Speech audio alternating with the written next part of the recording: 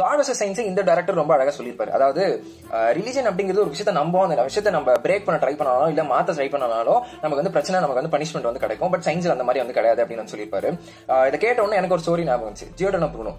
Fifteen ஹண்ட்ரட்ஸில் church சொல்றதா எல்லாமே. சர்ச் சொல் என்ன சொல்லுதோ அதான் வந்து கேட்கணும். ஸோ அந்த டைம்ல ஃபர்ஸ்ட் ஃபர்ஸ்ட் சயின்ஸ் சைட்ல இருந்து பிலாசபர்ஸ் என்ன சொன்னாங்க அப்படின்னு சொன்னா அர்த் அப்படிங்கிறது சென்டர் இருக்கு. மற்ற பிளான்ஸ் வந்து சுத்திட்டு இருக்கு. சன்னெல்லாம் சுத்திட்டு இருக்கு அப்படின்னு சொல்லும்போது சொல்லும் போது சர்ச் வந்து ஏத்துக்கிட்டாங்க. பிகாஸ் சர்ச் என்ன நம்பினாங்க அப்படின்னா அர்த் அப்படிங்கிறது ஒரு ஸ்பெஷலான ஒரு பிளானட் நம்ம எல்லாம் ஒரு ஸ்பெஷலான கிரியேச்சர் நம்பும் போது அப்ப இதுவுமே வந்து அர்த்த ஸ்பெஷல்னு சொல்லும் போது ஓகே ஆயிட்டாங்க.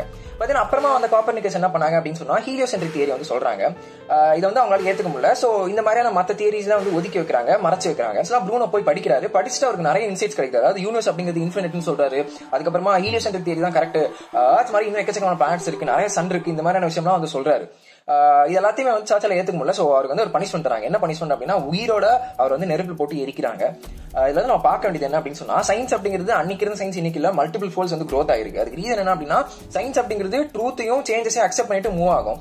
பட் தென் ரிலீஜன் அப்படிங்கிறது அந்த மாதிரி நடக்காது. பிகாஸ் ரிலீஜன்ல வந்து பிலீஃப்னாலையும் ஃபெய்த்னாலையும் ஆனது. ஸோ இந்த ரிலீஜன்ல ஃபர்ஸ்ட் யார் ஒருத்தர் நான் ஏதோ ஒரு நம்பியிருப்பாங்க. ஸோ அதான் வந்து மத்தவங்க நம்பணும். அதுல இருந்து ஏதாவது ஒரு கேள்வி கேட்டாலோ இல்ல வேற ஏதாச்சும் சேஞ்ச் பண்ண ட்ரை பண்ணாலோ இது வரைக்கும் அவங்க நம்பிட்டு வந்து ஒரு திங்க வந்து இல்லாம போயிடும் அந்த மாதிரி நடக்கலாம் இல்லையா? ஸோ அதனால நம்ம கேள்வி கேட்க கூட விட மாட்டாங்க. யோசிச்சு பாருங்க.